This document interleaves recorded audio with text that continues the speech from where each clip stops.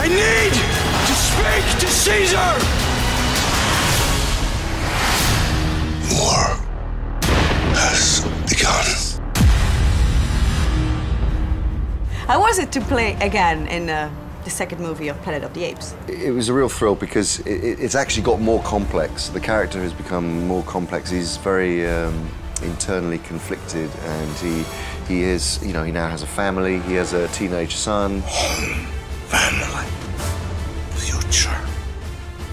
Because he's evolved so much uh, and has an accelerated evolution, you know, the use of language and the beginning to uh, find a way of, of making Caesar speak, these were all great challenges and, and really, really enjoyable. Apes! Do not want war! Now that I'm watching you, I'm sitting right in front of you. I see Caesar actually, the mimics. The, the great work that Weta do in, tran- in translating the performances, the fidelity to the to the performance that we give on set is is very complete now. When I'm preparing for the role of Caesar, we are we're able you to. You practice this in a mirror?